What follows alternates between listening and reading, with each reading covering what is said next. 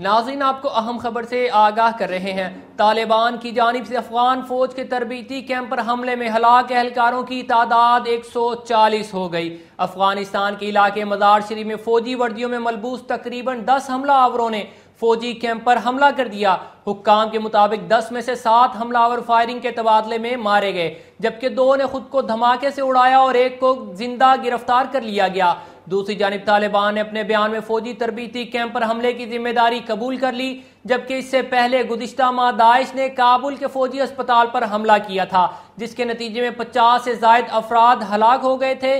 नाजिन, आपको अहम खबर से आगाह कर रहे हैं। तालिबान की जानब से अफगान फौज के तरबीती कैंप पर हमले में हलाक एहलकारों की तादाद 140 होगी अफ़गानिस्तान के इलाके मजार शरीफ में फौजी वर्दियों में मलबूस तकरीबन 10 हमला आवरों ने फौजी कैंप पर हमला कर दिया।